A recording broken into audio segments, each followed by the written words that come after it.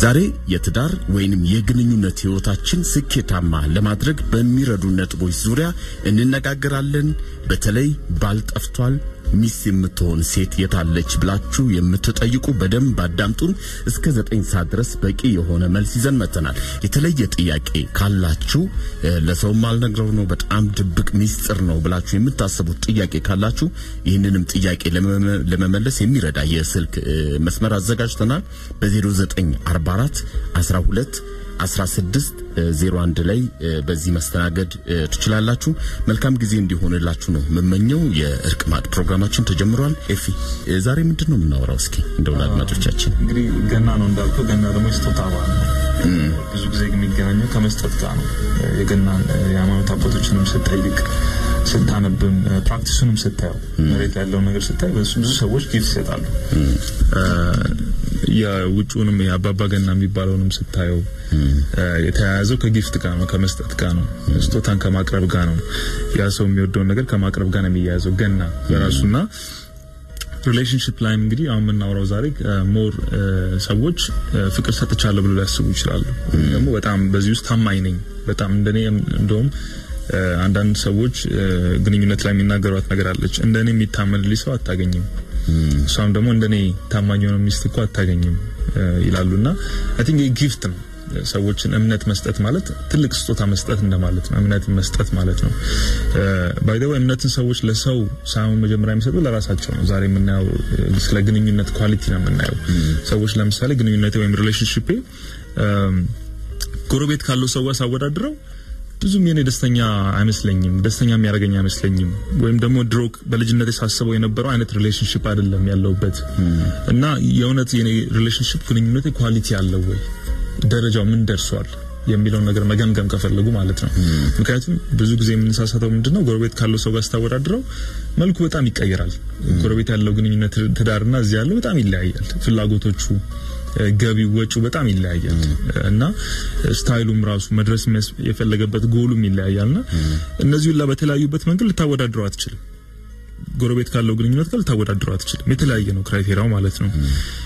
እሱ ብቻ ሳይሆን ደግሞ አንተ ራስህ ጎል ካላስቀምጥክም ከሌላ ሰው ጋር ታወዳድረው ራሱ በግንኙነት ውስጥ ማለት ነው። ስለዚህ ሰዎች ማወዳደር የለባቸው ማወዳደር የለባቸው ጎረቤት ካለው ትዳር ጋር ብቻ ሳይሆን በፊት ከነበረው ለምሳሌ ብዙ ሰዎች በፊት የነበረውን የመጀመሪያውን ግንኙነት miss ያደርጉታል። እውነቱን ለመናገር በጣም ይናፍቃቸዋል። እሱ ግንኙነት አይረሱትም ብዙ ጊዜ ይባላል። እነሱም ደግሞ እንደ reference ለምንጠቀምበት ለምሳሌ አንድ መጽሐፍ የመጀመሪያ ሰው ያነበበው መጽሐፍ አይረሳውም።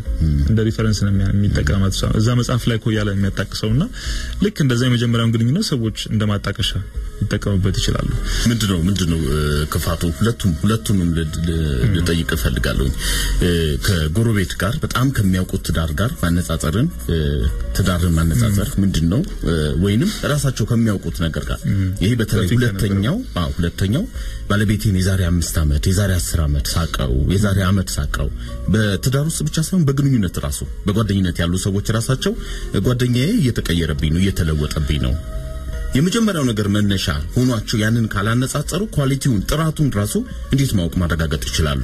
yes አሁን ጥራት የሚመድብ ነገር ገበያ ላይ ስለሌለ ጥራት የ relationship ን ጥራት የሚመድብ ሰው የለም፣ ወይም አካል የለም፣ ወይም እንትን የለም፣ ቢሮ የለም።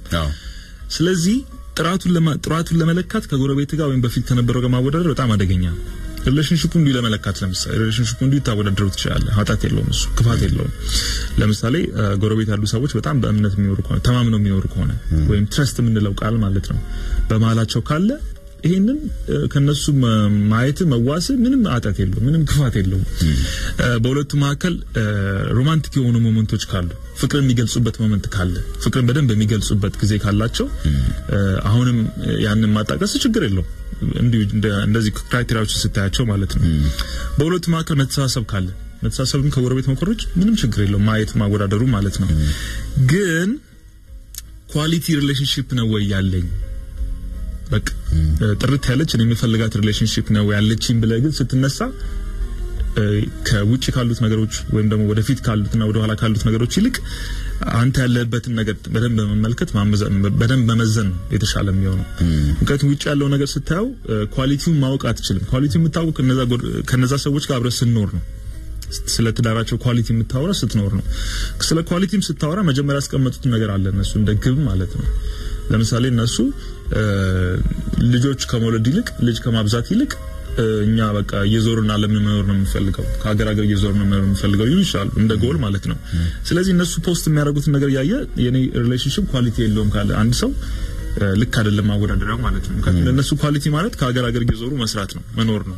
ልጅ ሳይወልዱ በቃ መዝናናት ነው፣ ጊዜያቸው ማሳለፍ ነው እርስ በርስ በጣም እንደ ጎል ያስቀመጡት በዛ relationship ማለት ነው። እዚህ እኛ ቤት ስትመጣ ግን ሶስት ልጅ እንወልዳለን ብለው ግብ ይዘናል፣ ወይም አራት ልጅ አምስት ልጅ ማለት ነው።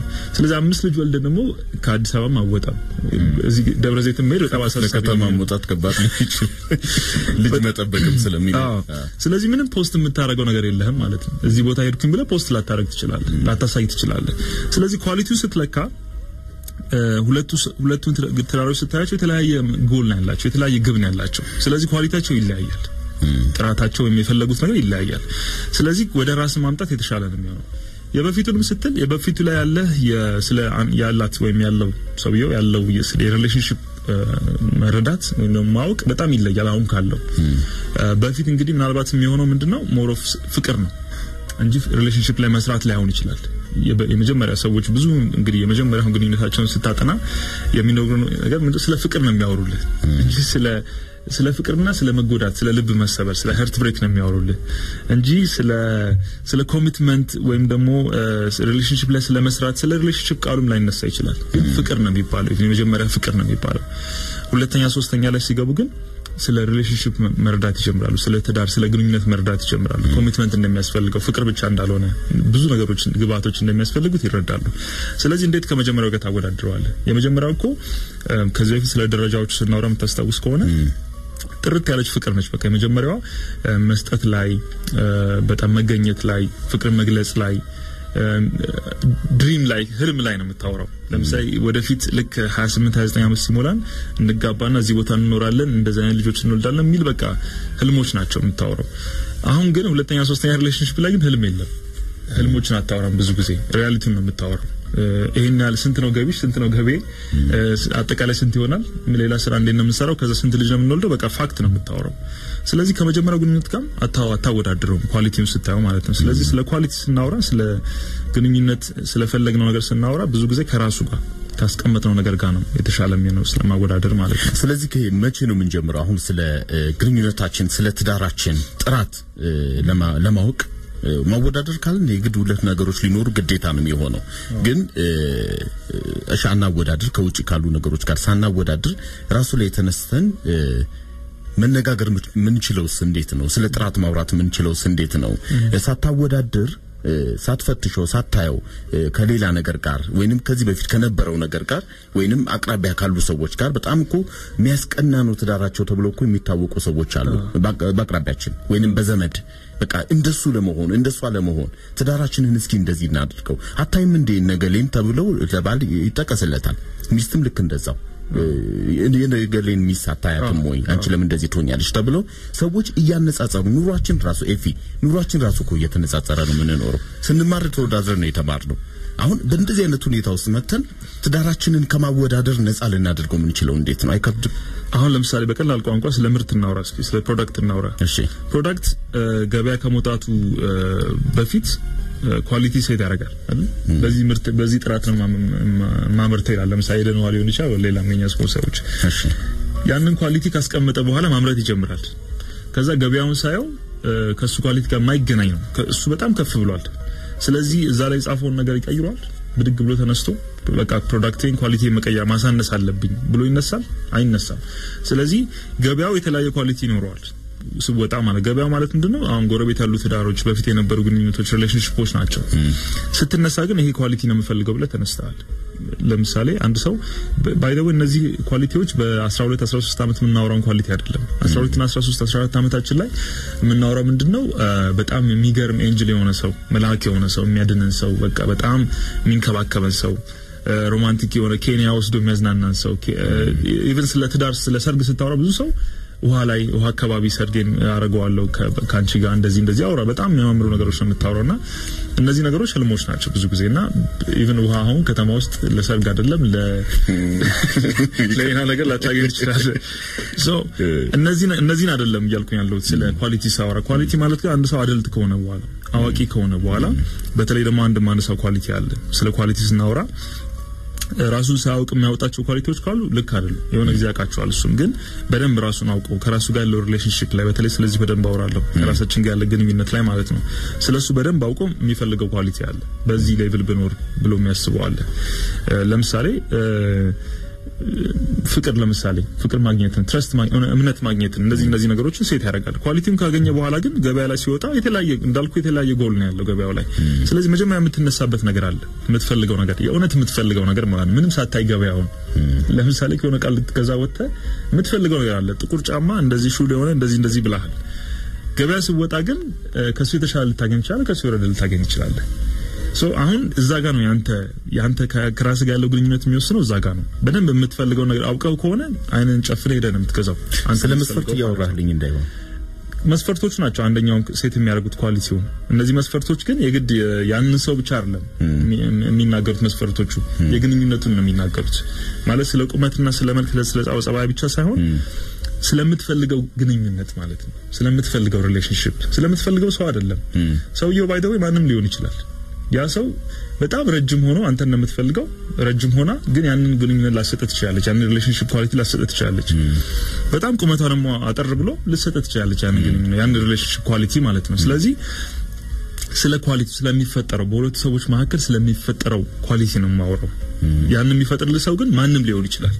ማንም ሰው ሊሆን ይችላል ያን የሚፈጥር። ስለዚህ ልንለየው ይገባል ማለት ነው። አሁን ለምሳሌ ስለዚህ ስለ quality ው ስለ ጥራቱ ስናወራ ከሰዎች ግንኙነት ከመመስረታቸው በፊት ለምሳሌ ብቸኛ እያሉ ወንድ ላጤ ሴት ላጤ በሚባለው ደረጃ እያሉ ያኔ የሚሰሩት ነገር ነው ወይንስ በትዳር ውስጥ ከገቡ በኋላ የሚሰሩት ነገር ነው? ይሄ quality ይሄ ጥራት ጥራቱ የትኛው ላይ ነው? ጥራቱ የሚመጣው ስታመርተው ነው። product ኡን ስታመርተው ነው ጥራቱ የምታየው እንጂ ሳታመርተው በፊት አሁን ውሃውን TDS ኡ እንደዚህ እንደዚህ ብለህ ታስቀምጣል፣ ትጽፋለህ።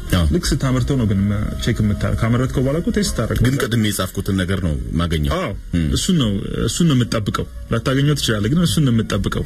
maybe ሳይንስ ላይ product ላይ ልታገኘው ትችላለህ። relationship ላይ ስንመጣ ግን ከሱ የበለጠ ልታገኝ ትችላለህ፣ ከሱ በጣም የበለጠ ልታገኝ ትችላለህ። ያንን የፈጠረው ግን ያ የመጣው ሰው ብቻ አይደለም፣ አንተም ልትሆን ትችላለህ።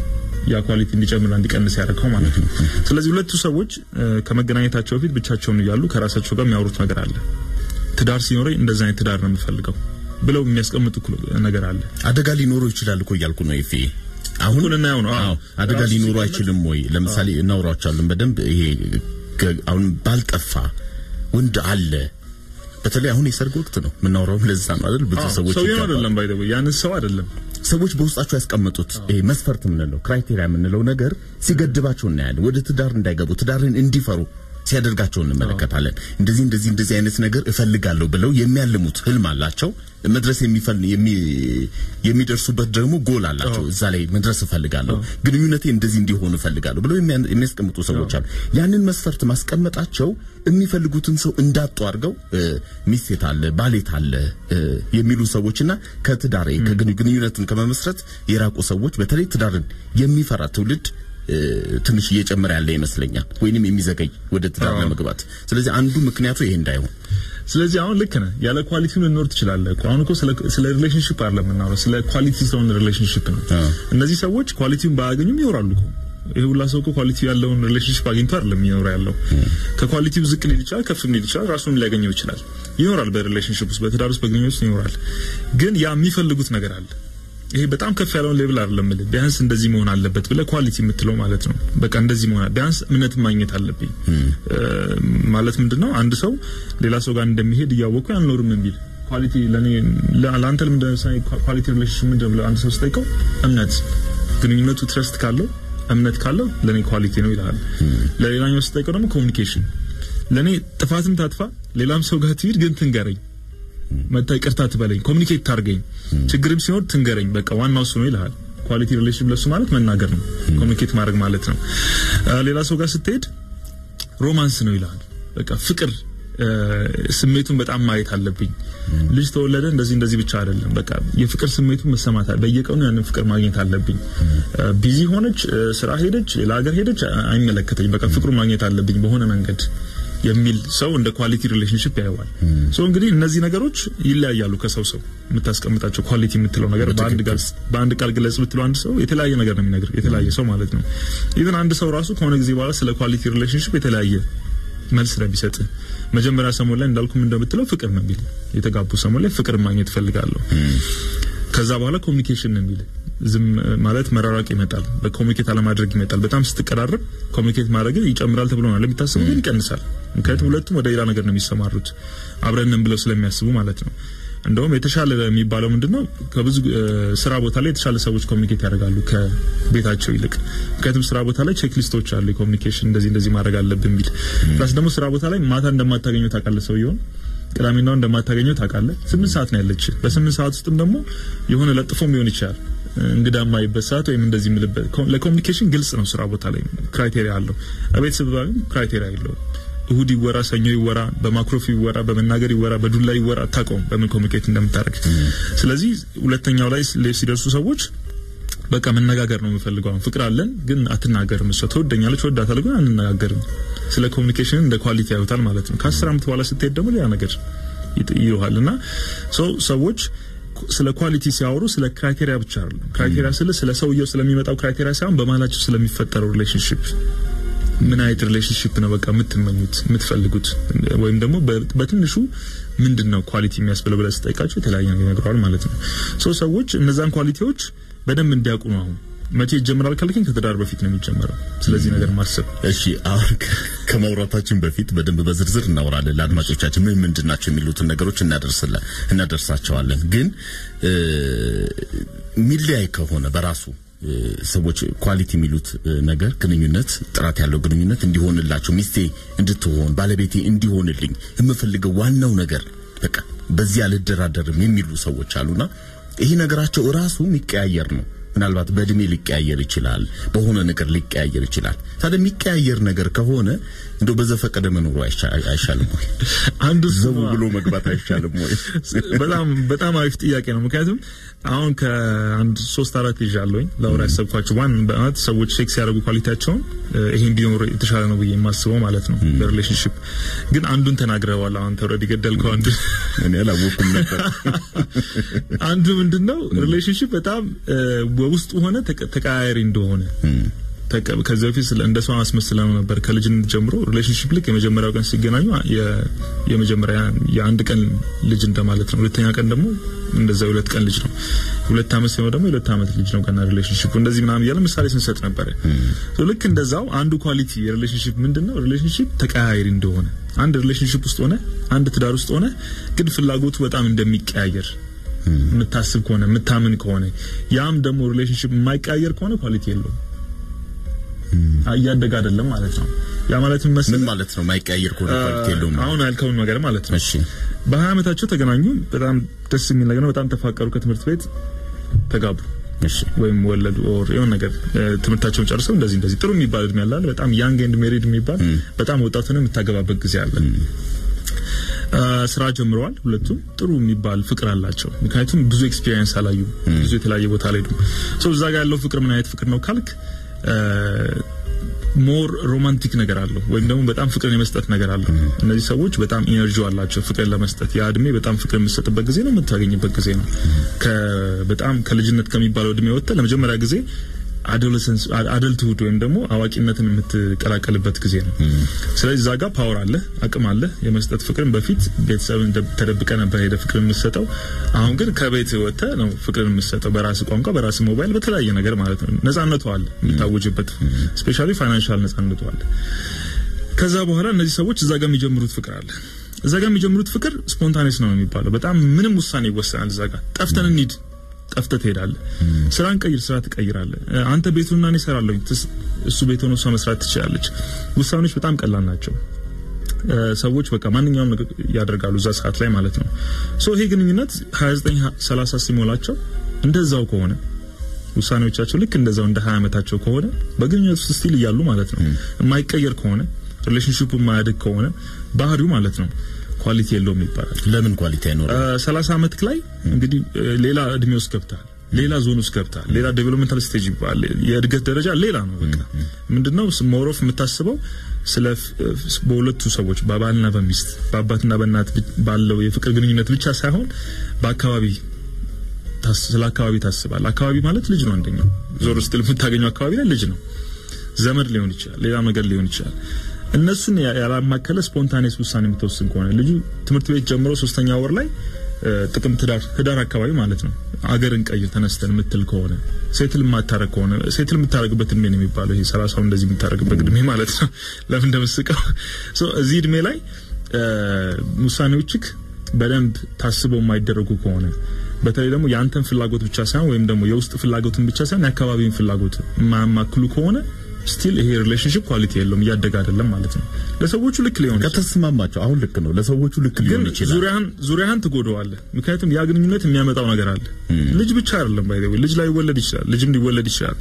ልጅ ካመጣውል በቀላሉ ላሳምን ይችላለሁ፣ ግን ልጅን ተው። ለምሳሌ ሌላ ነገር እናስብ። እ፣ እነዚህ ሰዎች የሚፈጥሩት ነገር አለ እዛ አካባቢያቸው ላይ የሚፈጥሩት ባህል አለ የሚፈጥሩት እሴት አለ እዛ አንድ ቦታ ስኖር እኮ ድንገት ተነስተ መሄድ ቀላል አይደለም እሱን ነገር ድንገት ተነስተ የምትሄድ ከሆነ ወደሚቀጥለው secondary stage እየገባ ሰዎች የአንተን acceptance ይፈልጋሉ ወይ moral development ይፈልጋል ሰዎች የአንተን መቀበል ይፈልጋሉ አንተን reference ማድረግ ይፈልጋሉ።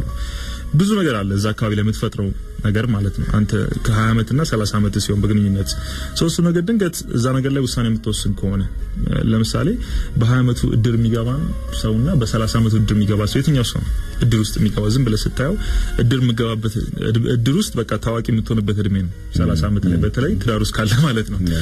በ20 ዓመት ላይ ግን ብዙ ልጆች ብዙ ሰዎች እየተደበቁ ሊሆኑ ይችላሉ። ለቅሶ ሀዘን ላለመድረስ ራሱ ማለት ያ እድሜ ሰዎች ትልቅ ሰዎችን መቅረብ መቅረብ የምትፈራበት ሊሆን ይችላል። ወይም ደግሞ ብዙ ጊዜ ብዙ ሰዓት መቀመጥ አትፈልግም። የሆነ ቦታ ላይ ሄደ more የምትፈልጋቸው የሚያስደስቱ ነገሮችን የምትፈልገውና commitment ያለባቸውን ነገሮች ቦታ መሄድ ሊከብድ ይችላል። ከ commitment ካለባቸው ቦታዎች ይልቅ more ቶሎ ቶሎ የሚቀየሩ ነገሮች ላይ ነው መሄድ የምትፈልገው።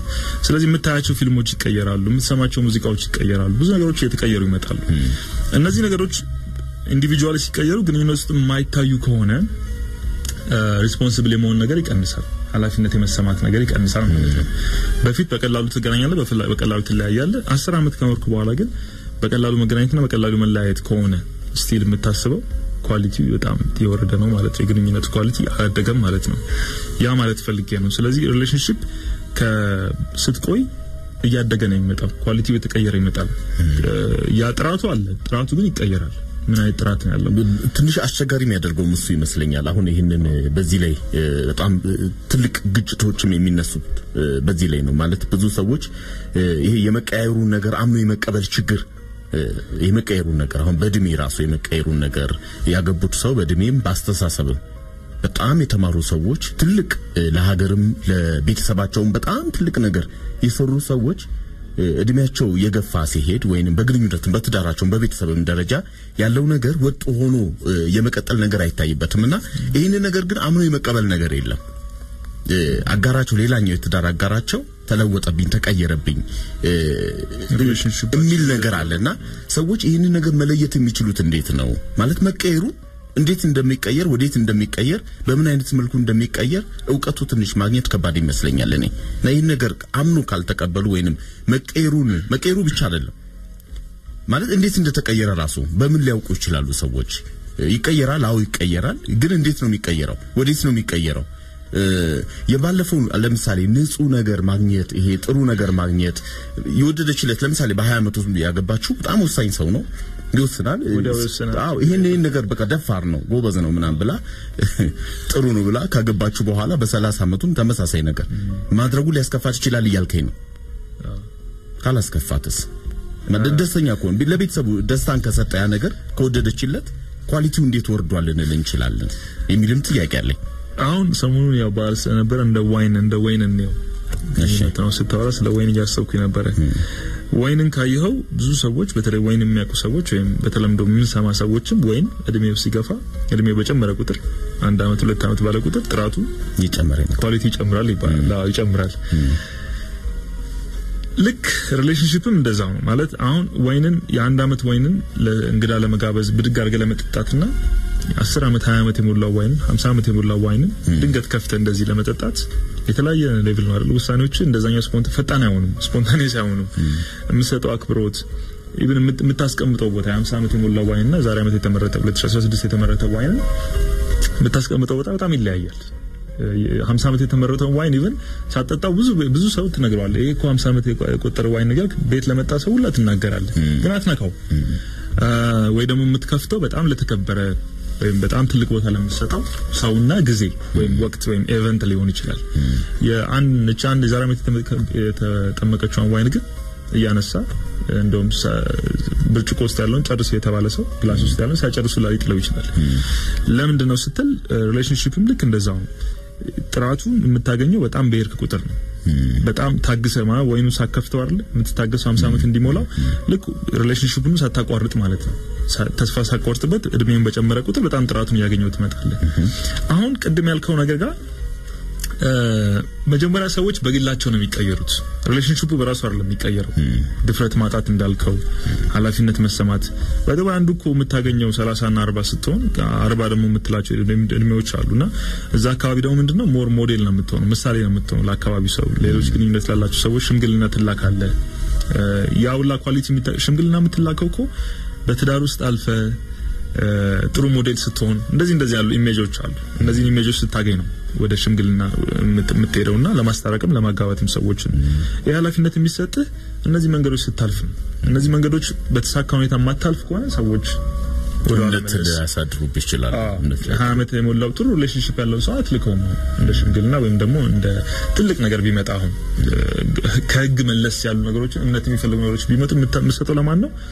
ጠና ላለው ሰው ነው ወይም ደግሞ በዛ ውስጥ ልምድ ላለው ሰው በጣም በዚህ ነገር ውስጥ ላደገ ሰው ነው የምትሰጠው። ለምን ከተባለ እምነቱን ታገኛለህ ማለት ነው። ስለዚህ quality ማለት ሰዎች ስለተመቻቸው ስላልተመቻቸው ሳይሆን በግላቸው ይቀየራሉ። በቃ ያንን መቀየራቸውን ግን አለመቀበል ሲፈልጉ ነው conflict የሚመጣው። አልተቀየርኩኝም፣ ልክ እንደ ድሮ መሆን አለብኝ፣ እንደ ድሮ ጠንካራ መሆን አለብኝ፣ እንደ ድሮ ድንገት መወሰን አለብኝ፣ እንደ ድሮ በሷም በጣም amaze ማድረግ እችላለሁ፣ surprise ማድረግ እችላለሁ ብለው ከተነሱ አይ በጣም surprise የሚያደርጉበት መንገድ ተቀይሯል። አሁን መልካም እንግዲህ ተመልሰን እንመጣለን። አድማጮቻችን እስከ ዘጠኝ ሰዓት ድረስ ከኛ ጋር ናችሁ። ኤፊ ጥያቄዎች እየመጡ ነው። በተለይ ከዚህ ተለዋዋጭ ከሆነው ከሰዎች ባህሪ አንጻር ይህን ነገር እንዴት ነው ልናውቅ የምንችለው? ትንሽ አይከብድም ወይ መለየት? በግንኙነት ውስጥ ሰዎች ሊቀያየሩ ይችላሉ፣ ሰዎች ሊለዋወጡ ይችላሉ እና ጥራትን መሰረት ያደረገ ግንኙነት በዚህ ውስጥ መመስረት ትንሽ ከባድ አይሆንም ወይ የሚል ጥያቄዎች እየመጡ ነው። ወደ መጨረሻ አካባቢ አብዲም ይዞ ስለሚመጣ የነሱን ጥያቄዎች እናስተናግዳለን በደንብ ግን ጥራት የግንኙነትን ጥራት በተመለከተ ጥራት የሚለው ራሱ በደንብ ጥርት ብሎ መገለጽ አለበት። ምን ማለት ነው ይሄ ጥራት ያለው ግንኙነት ስንል በራሱ ምን ማለት ነው? ካለ ነገር የማይቀንስብህ ማለት በቀላሉ በቀላል አማርኛ ካወራን ነው። አንድ ሰው ብቻውን ሆኖ ካለው ነገር ግንኙነት ሲገባ በጣም የሚቀንስ ከሆነ normal አይቀንስም። ስለዚህ በሀሳብ ደረጃ የሚቀንስ ከሆነ አልኩ እንጂ አንድ ሰው ግንኙነት ሲገባ ይጨምራል፣ በሆነ ነገር ይጨምራል፣ ብቻውን ካለው ነገር ይጨምራል። በጣም የሚጨምራቸው ነገሮች አሉና ግን በሆነ አጋጣሚ ብቻውን ከነበረው ሰላምና ደስታ ከተለያዩ ስሜቶች እንደዚህ በጣም የሚቀንስ ከሆነ ጥራት የለውም ማለት ነው። ያ ማለት ምንድነው? አንድ ነገር ጤና አለህ ግን የተበከለ ውሃ በውድ ዋጋ ገዝተህ ስትጠጣ ትታመማለህ። ካለ ነገር ቀነስክ ማለት ነው። እንድቀንስ አይደለም ያንን quality የምትገዛው ያንን ነገር ውስጥ የምትገባው የምትጠጣው ግን የተሻለ ጤና እንዲሰጥ ነው፣ ወይም ደግሞ ጥምን እንድታረካ ነው። ግን ውሃውን ገዝተህ የባሰ የሚያስጠማ ከሆነ የባሰ ጥማት የሚለቅብህ ከሆነ ውሃውን ገዝተህ ጥራት የለውም ማለት ነው። ወይም ደግሞ ችግር አለው ማለት ነው። ልክ እንደዛው relationship ኡ ላይም ካለ ነገር የሚቀንስብህ በጣም ከሆነ በሚታይ መልኩ ማለት ነው። ለምሳሌ አንድ የነበረ ሰው ሁለት ይሆናል። ይሄ በራሱ ጨመረ ማለት ነው አይደለ? ሁለት ይሆናል፣ ሶስት ይሆናል። ሲወልድ ደግሞ እንደዚህ ጨመረ ነው። ግን ከዛ በላይ ብቸኝነት ብቻህን ከነበርክበት ሁኔታ የባሰ ብቸኝነት የሚሰማ ከሆነ ግንኙነት ማለት ነው። ይሄ በደንብ መታየት አለበት። ዝም ብለን እንደምናስበው ምናልባት ስምንትናደድ ቀን አንድ ሰው ብቸኝነት ሊሰማው ይችላል። የተጣሉ ሰሞን በጣም ብቸኝነት ሊሰማው ይችላል። ግን ለረጅም ጊዜ ማለት ነው ብቻውን ከነበረበት ጊዜ የባሰ ብቸኝነት የሚሰማው ከሆነ ግንኙነት ውስጥ ሆነ ጥራት የለውም ማለት ነው። ስለዚህ በቀላል ትርጉም አንድ ሰው ብቻውን ሲኖር ከነበረው ደስታና የተለያዩ ስሜቶች በጣም የቀነሰ ጥራት ያለው ህይወት ግንኙነቱ ከሚኖር ከሆነ ጥራቱ ቀንሷል ማለት ነው። የግንኙነቱ ጥራት ጥያቄ ያለው ማለት ነው። ግን ካለች ነገር ትንሽ የሚጨምርልህ ከሆነ በደንብ የሚጨምርልህ ከሆነ ባሰብከው መጠን የሚጨምርልህ ከሆነ ያ ግንኙነት quality አለው ማለት ነው፣ ወይም ጥራት አለው ማለት ነው። መቼ እዚህ ጥራት ላይ መቼ ነው መስራት ያለባቸው? ቅድም ከፋፍለን በተወሰኑ መልኩ ለማየት ሞክረን ነበረ። ምናልባት ልዩነት ካላቸው ሰዎች ወደ ትዳር ከመግባታቸው በፊት አሁኑ ሰሞኑም ያው ቅድም እንዳልነው የሰርግ ወቅት እንደመሆኑ መጠን የሰርግ ወቅትም ነው። እንደገና ደግሞ ለአንዱ ሲዘንብ ሌላው ደግሞ ያካፋለታል ይባላል። ምናልባት ማድረግ አለኝ፣ በእርግጥ አለኝ። ምናልባት ከአብዲ ጋር ተማክረን አናውንስ እናደርጋለን እንጂ አዎ አለኝና ወቅቱ ነው በቃ ወቅቱ ነው ይታወቃል። ሰዎች ተጫጫሉ፣ ይተዋወቃሉ፣ ይገናኛሉና ጊዜው በራሱ ደስ ይላል። ይሄ ወቅት እንደመሆኑ መጠንና ሰዎች ምንድን ነው መስራት ያለባቸው አሁን ምንድን ነው አሁን ትኩስ ባለትዳሮች በጣም አንድ አመት ምናምን ወደ ትዳር ሲገቡ በጣም ብዙ ችግሮች የሚፈጠሩበትን ጊዜ ነው። በግንኙነታቸው ከግንኙነት በፊት እዚህ ጥራት ላይ መስራት አለባቸው። ችግሮች እንዳይነሱ ነው አላማው አይደል? በትዳር ውስጥ ችግሮች እንዳይፈጠሩ ነው። ችግሮችን ለመቀነስ ነው እዚህ ጥራት ላይ መስራት ያለባቸው። ልዩነት የለውም ወይ ከመጋባት በፊት ትዳርን ጥራት ባለው መልኩ ለመምራት ግንኙነትን ጥራት ባለው መልኩ ለመምራት የሚሰሩት ስራዎች ምንድን ናቸው? ከተጋቡ በኋላስ እንደዚህ ከፍለን ልናያቸው የምንችላቸው ነገሮች ናቸው? አሁን ጥራቱ የሚመጣው በጣም ጥርት ባለ ሂደት አይደለም። ጥራቱ የሚመጣው ምን ማለት ነው? ኮንፍሊክት በሌለበት ሰላም በሆነ በጣም ፍቅር በበዛበት ሁኔታ ላይመጣ ይችላል ጥራቱ ማለት ነው። አንድ ነገርም በጣም ጥራት ስታስብ ስለ ወርቅ ማሰብ ትችላለህ። ብዙ ጊዜ የሚሰጠው ምሳሌ እሱ ነው። ጥርት ያለ ወርቅ እንዲመጣ በጣም በብዙ pain ውስጥ ነው የሚያልፈው። በጣም በብዙ ህመም ውስጥ፣ መቀጥቀጥ ውስጥ፣ መንደድ ውስጥ፣ መቃጠል ውስጥ ነው የሚያልፈው። ግንኙነቱም ስለ ጥራት ሲያወራ ጥራት የሚመጣው ባለመስራት አይደለም። ካልሰራ ባይደው ሰላም ነው ካልሰራበት የማታወራበት ከሆነ ግንኙነቱን እንዴት እናርገው፣ next ምንድነው ፕላናችን፣ እንዴት ነው እኔ ያለሁበት status እንዴት ነው፣ ምንድነው ያጠፋሁት ያለው ነገር እያሻሻልኩት ያለው ነገር ምንድነው፣ እኔ ጋር የምታዩ አስቸጋሪ ባህሪ ምንድነው? ብሎ የማይጠየቁ የማይሰሩ ከሆነ ጥራቱ አይመጣም። ስለዚህ ሂደቱ ጥራት ጥራት የምታመጣበት ሂደት ጥርት ያለ አይደለም ማለት የሆነ አስደሳች አይደለም። በጣም romantic የሆነ እንደ honeymoon ነገር አይደለም ያ ሂደት ማለት ሂደቱ በጣም ህመም ይኖረዋል፣ ጊዜ መስጠት ይኖረዋል፣ ብዙ ነገሮችን መተው ይኖረዋል፣ ስራን ልተው ትችላለህ፣ ብዙ ነገር ትተዋለና ያንን ጥራት ለማምጣት ማለት ነው። ስለዚህ በጥራት ሂደቱ መቼ ይምጣ ማለት ጥራቱ መቼ ይምጣ ካልን የመጀመሪያ ቅድም ያልኩትን መድገም እፈልጋለሁ። ስለ ግንኙነታችን quality ስናወራ ጎረቤት ካለው quality ጋር ባናወዳድር ጥሩ ነው። እንደ relationship እንደ ትዳር ማወዳደር የማይቆም ነገር ነው። ማስቆም አንችልም። እሱን ከአይምሯችን እዛ ቤት ያየውን ነገር ጥሩ ሞዴል እዚህ ቤት ልናመጣው እንችላለን። ለምሳሌ ማታ ማታ ራት አብረው የሚሰሩ ከሆነ ጥሩ ነገር ነው። ኮረጃ ቤት አምጥተው ልሰራው ትችላለህ። ጥሩ ስሜት የሚሰጥ ከሆነ ጥሩ ቅርበትን የሚፈጥር ከሆነ intimacy የሚፈጥር ከሆነ ማለት ነው። ግን ደግሞ የግድ እራት መስራት ላይ ይጠበቅብህ ይችላል። ለአንተ quality ማለት እሱ ላይሆን ይችላል። ምናልባት ሌላ ነገር ሊሆን ይችላል። እራት ከቀረበዋል ማውራት ሊሆን ይችላል። ከጎረቤት ጋር ስታወዳድር ምናልባት አንድ ምሳሌ ሰሞኑን ያነበብኩትን ብነግርህ እሱ በጣም በእሷ ይበሳጫል በምትሰራው ምግብ። ባል ሚስት በምታቀርበው ምግብ በጣም ነው ይበሳጨው። እሷ ነች እንግዲህ እዛ ቤት ውስጥ ምግብ ትሰራለች ተብሎ የታሰበው። በጣም ይበሳጫል። እንደውም ብዙ ጊዜ ያልበሰለ ምግብ ነው የምበላ ብሎ ያስባል። እንደ ሊጥ ነው የሚለው ምግቡን። በቃ አሁን ጓደኞቹ ጋር ስብሰብ ቢልና 11 ሰዓት 12 ሰዓት ላይ ጨዋትና በቃ ወደ ቤት ገብቼ ልብላ ሊጤን ነው የሚለው ሊጥ ነው የሚለው ሲጀምር ምግቡን ማለት ነው። በነገራችን ላይ ምናልባት ከርዕሳችን እንዳንወጣ እንጂ አንድ ነገር አስታወሰኝ። ይሄ ሚስቶቻቸውን በተለይ ሚስቶቻቸውን የሚያሙ ባሎች ለምሳሌ ሙያ ከሌላት እሷ አዎ ስለ ሙያ ሊያወራ ይችላል ስለ ጓደኞቹ። የሆነ ነገር ካለው እሱ ጋር ችግር ካለ እንደዚሁ ለጓደኞቿ እሷም እንደዚህ ባሌ ብላ እንትን የምትለው ነገር አለና ትንሽ ከባድ መሰለኝ ምሳሌው ራሱ ልክ እንደዛ ነው። ልክ እንደዛ ነበር የሚያስበው። እና ሁሌ እየተበሳጨ ነው የሚሄደው የሚቀርብለት ምግብ አይወደውም እንደዚህ እንደዚህ እያለ ይላል። ከዛ በኋላ ከሚስቱ ጋር ተፋታ።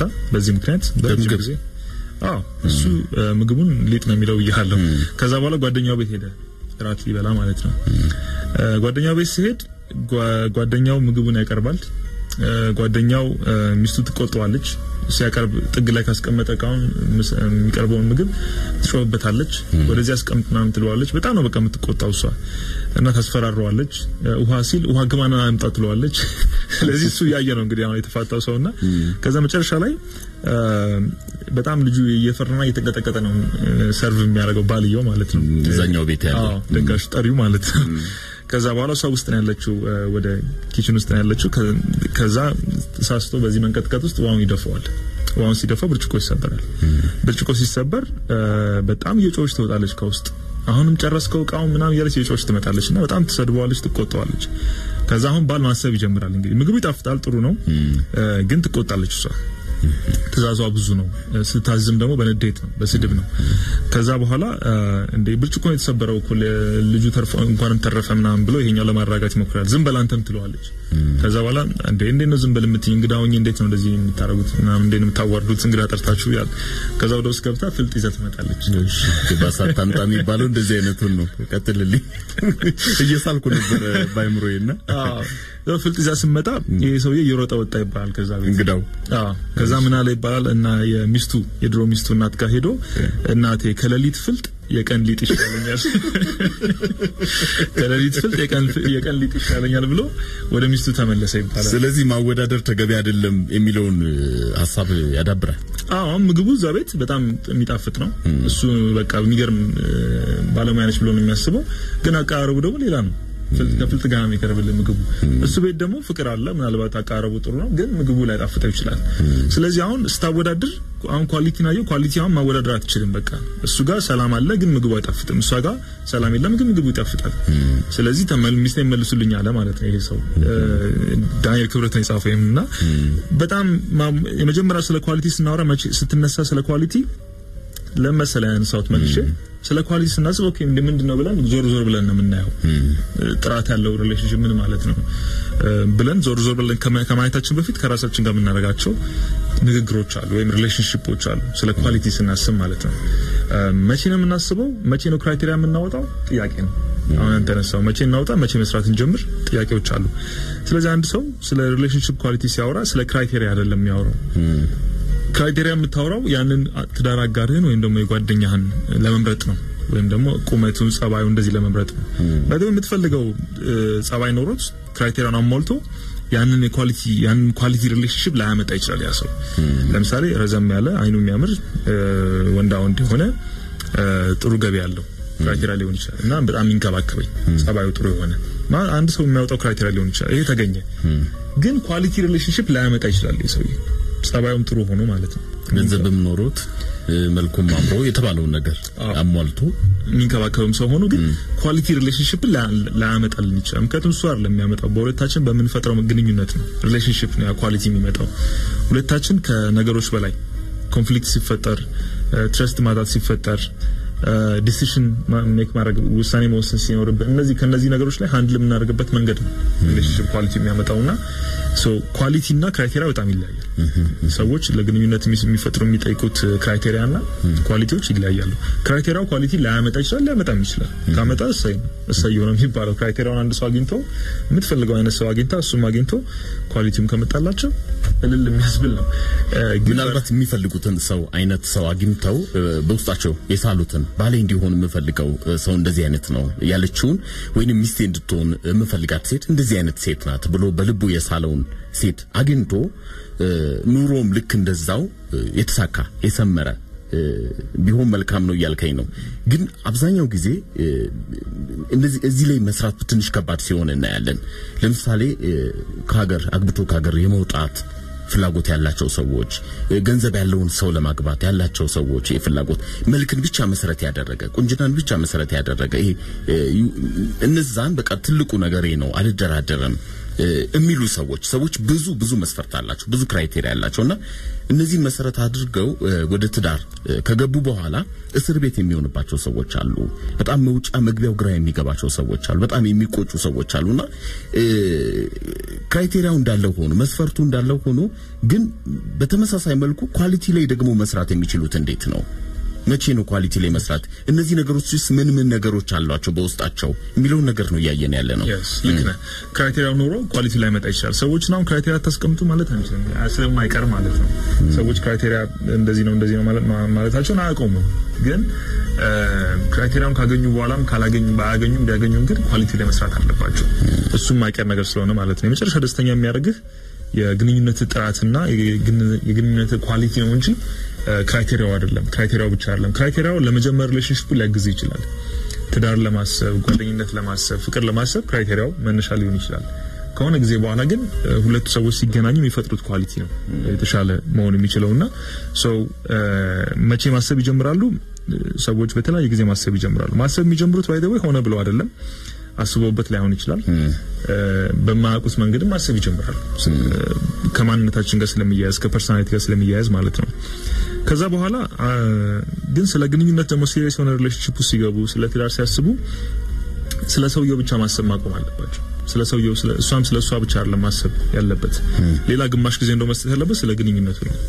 relationship አችን ምን ይመስላል ብሎ የሚጠይቅ ሰው ምን ያህል ነው ጥያቄው።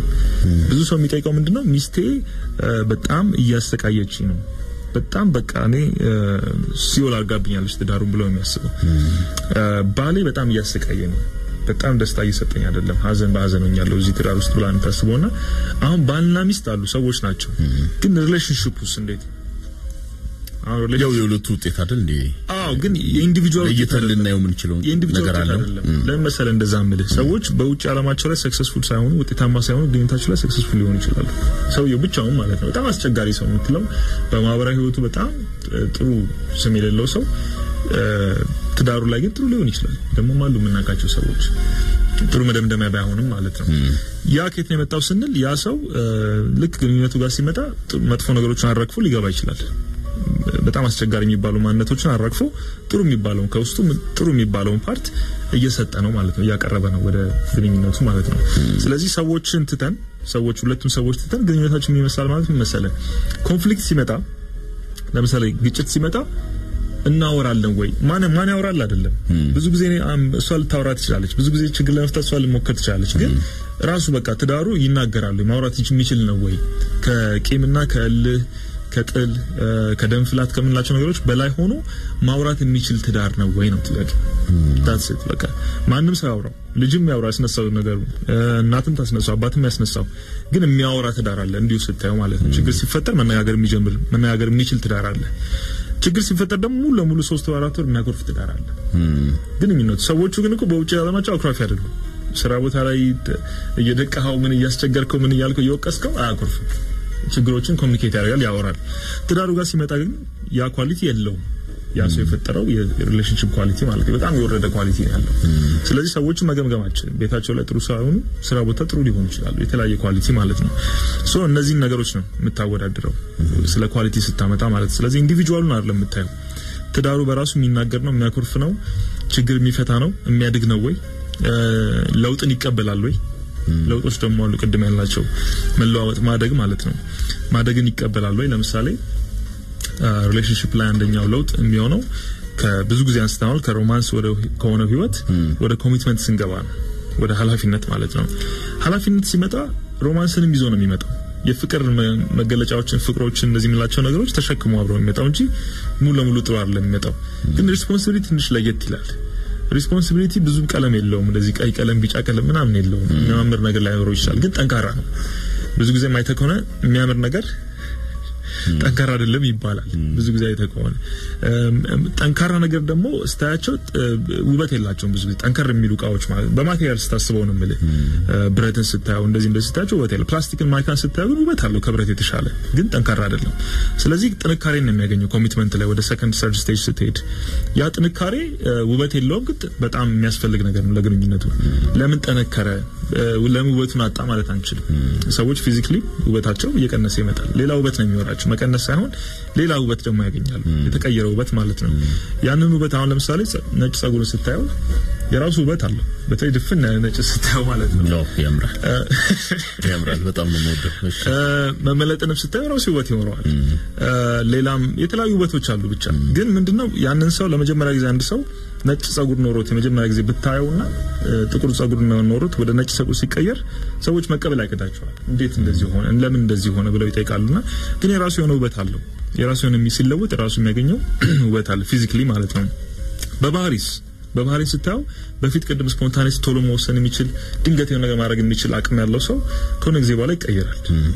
ይቀየርና ከማድረግ ይልቅ ሰዎች እንዲያደርጉለት የመቻል አቅም ይኖረዋል። ያ ማለት ምንድነው? ልጆቹ፣ ቤተሰቦቹ፣ አካባቢ ያሉ ሰዎችን እንዲያደርጉ motivate የማድረግ አቅም አለው። ተናግሮ የማሳመን አቅም አለው። በፊት ግን ተናግሮ ሳይሆን አድርጎ ነው የሚያሳምነው። የሀያ አመቱ ባል ወይም ሚስት ማለት ነው። አርባ ዓመት ሀምሳ ዓመት ያላቸው ባልና ሚስቶች ግን ሰዎችን የማሳመን ብቃት አላቸው እና እንዲደረግላቸው ማድረግ ይችላሉ። በቤተሰብም በልጅም ማለት ነው። ወይም የእነሱን ባህል ማስቀጠል ይችላሉ ማለት ነው። ስለዚህ እነዚህ መለዋወጦች ማንቀበል ከሆነ ጥራቱ አሁንም ጥያቄ ውስጥ ይገባል ማለት ነው። ለውጦቹ ስለማይቀሩ ማለት ነው። ማደጉ ስለማይቀር ከዛ ወደ አንተ ጥያቄ ስመጣ መቼ ነው የሚጀመረው? የሚጀምርበት ጊዜ ከማሰብ ነው የሚጀምሩት ከማድረግ አይደለም። ስለ relationship quality ስናስብ አሁን እናንተ እዚህ ጋር ቁጭ ብለን quality relationship ምንድን ነው ለእኔ ብለን ስናስብ ከማሰብ ነው የምንጀምረው። ከገባንበት በኋላ ልናስብ እንችላለን፣ ግን የተሻለ የሚሆነው ካደረግነው በፊት ብናስብ ነው። quality relationship ለእኔ ምንድን ነው? ምክንያቱም ያንን ደጋግመህ በተናገርከው ቁጥር የትዳር አጋርህም ማወቅ ይጀምራል፣ ምን አይነት quality ምን ማለት እንደሆነ። እሷም አንተ በነገረችህ ቁጥር አንተ መረዳት ትችላለህ። እና ሰዎች ማሰብ ካልቻሉት በኑሮ ይመጣል በራሱ ጊዜ ዝም ብሎ በቃ ሳናወራበት በራሱ ይመጣል ብለው የሚጠብቁ ከሆነ ሊመጣ ይችላል። ግን 30፣ 40፣ 50 ዓመት ሊፈጅ ይችላል። ያ quality ማለት ነው። የሚያወሩት ከሆነ ግን ካሰቡት በኋላ የሚያወሩት ነገር ከሆነ በ10 ዓመት ውስጥ በአምስት ዓመት ውስጥ በሁለት ዓመት ውስጥ quality ሊያመጡት ይችላሉ። ያንን quality ማለት ነው። so quality ው ይቀይራል፣ ግን ሁሌም quality ሆኖ ነው የሚቀይረው የሚቀጥለው ማለት ነው። so ያስባሉ ሰዎች ምን አይነት quality እንዳለው ያስባሉ። ካሰቡ በኋላ ወደ ማድረግ ይገባሉ ማለት ነው። so በመሀል በማሰብና በማድረግ መሀል ትዳር የሚባል ነገር ሊኖር ይችላል፣ ወይም relationship የሚባል ነገር ሊኖር ይችላል። አመሰግናለሁ ኤፊ። ኤፍሬም ተመለስ ወደ አንተ ወደ አንተው ተመለስ። ጥሩ ነው። አሁን እስኪ ስለ ጥራቶቹ እናውራ። አድማጮቻችን እየጠየቁ ነው። ጥራት እንዴት ነው ታዲያ? እንዴት ነው ጥራት ያለው ግንኙነት ጥራት ያለው ትዳር መመስረት መገንባት ምንችለው እንዴት ነው? በተለይ ወደ ትዳር እየገቡ ያሉ ሰዎች ጥያቄ ነው። እንደው ትንሽ የቆዩ ሰዎች እንኳን በልምድም በመውደቅ በመነሳትም ሳያውቁም ይህን ነገር ያሳድጉታል በውስጣቸው ወይንም አምነው ይኖራሉ። ብዙ ጊዜ ሁለት ነገር ነው ያለው። ቅድም እንዳልከው አብዛኛው ትዳር በተለይ ረጅም ዓመት የኖሩ ትዳሮች አምነውበታል። በቃ ይሄ ነው የኔ ኑሮ ብለው አምነዋል። ግን ይሄ ትኩስ ትዳር የምንለው ገና የተጀመረ ትዳር ይህንን ጥያቄ ያነሳል። ለዚህ ነው እንደ ገባሁት በጣም ድብርት ውስጥም ይገባሉ። አንዳንድ ጊዜ እኔ የምፈራው ኤፍዬ ትክክለኛ ኑሮም እየኖሩ የሚጠራጠሩ ሰዎች አሉ። በቃ ይሄ ነገር አይደለም እንዴ የኔ ኑሮ እንደዚህ ነው እንዴ ብለው ግራ የሚጋቡ ሰዎች አሉና እነሱንም ሰዎች እንደው መመዘኛ እንዲሆናቸው መስፈርት እንዲሆናቸው ያሉበት ሁኔታ የሚመስለውን ነገር ማወቅ እንዲችሉ ጥራት ያለው ትክክለኛ የትዳር መገለጫዎቹ ምን ምንድን ናቸው የሚሉትን አንድ ሁለት ሶስት ብለን መቁጠር የምንችላቸው ነገሮች ካሉ አንድ ሶስት መጥቀስ እንችላለን። እንግዲህ ሰዎች ስለ quality ሲያወሩ የራሳቸው quality standard አላቸው። ግን እነዚህ ነገሮች ባይጠፉ ጥሩ ነው ብለን ያሰብናቸው ማለት ነው። የተሻሉ የሚባሉ ካሉ quality ዎች ውስጥ እነዚህ ለምሳሌ አንድን quality ስታወራ material ኡ TDS ኡ ምናምን እንደምትል ዋና ዋና ነገሮችን ልክ እነሱን ነው share ማድረግ ማለት ነው። relationship ውስጥ ያለ ሰው ከሌለ ሰው ደስተኛ ነው ተብሎ ይታሰባል። የተሻለ ደስታ አለው ተብሎ ይታሰባል። እንዲሁ research ነው። ያገቡ ሰዎች ካላገቡ ሰዎች ደስታቸው ይጨምራል። ያገቡ ይጨምራል ደስታቸው። ያገቡ ሰዎች የተሻለ ደስታ አላቸው።